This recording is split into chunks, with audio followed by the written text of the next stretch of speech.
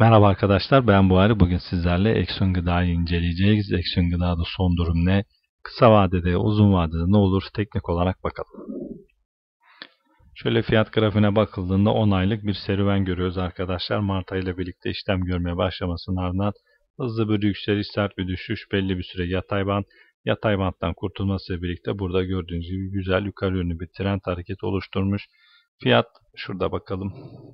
56 seviyesinden 116'ya çıkmış. 116 seviyesinden de 52 seviyesine kadar geri çekilme kaydederek buradaki kazançların burada satmayanlar için özellikle tamamını geri almış ve günlük kapanışında 59 seviyesinden gerçekleştirmiş.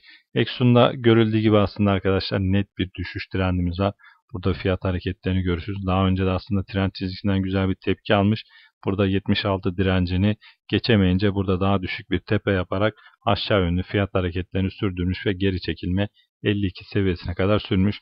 Şurada gördüğünüz gibi alıcılı mumlar var tamamen. Bu mumlar sonrasında da kısa vadeli satışlar olmuş ve şu anda da kısa vadeli EMA'ların 13 ve 20 günlük hareketli ortalamanın üstünde kalmış arkadaşlar. Pozitif bir kapanış diyebiliriz. Bu pozitif kapanışla beraber oluşacak tepki alımlarıyla beraber alım iştahıyla beraber fiyat 63'ün üstünde kalabilirse kısa vadede 76-77 bölgesine yükselişler olabilir. Yani bu ne demek?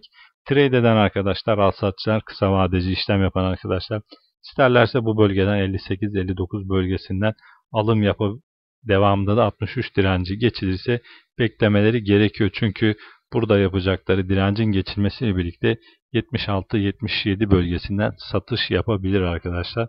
Bu da size kısa vadede %25'in üstünde bir getiri sunabilir.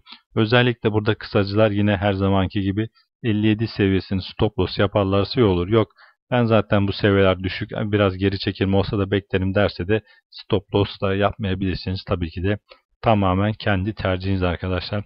Fiyat kısada 57 desteği var. Şuraya göstereyim. 57 desteği var. Bu destek kırılırsa da tekrardan alt bantlar yani 52-53 seviyeleri mümkün olabilir. Geri çekilme sürebilir.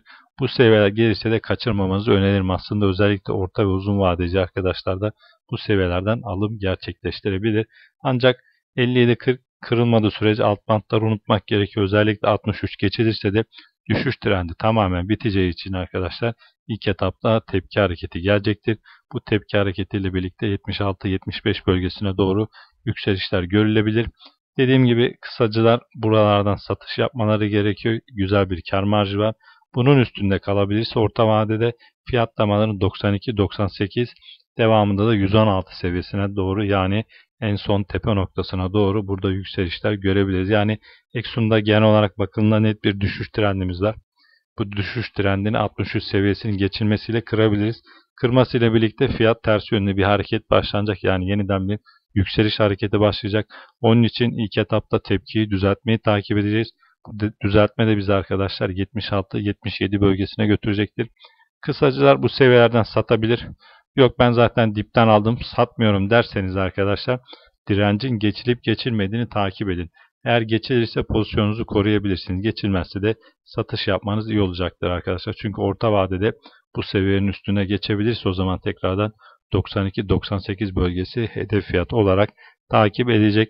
98'in üstünde uzun vadede yine en son zirvesi 116 hedef fiyat olarak takip edilebilir. Fiyat zaten en son zirvesine çıkmayı başarırsa da %100'e yakın bir getiri sunmuş olacak arkadaşlar.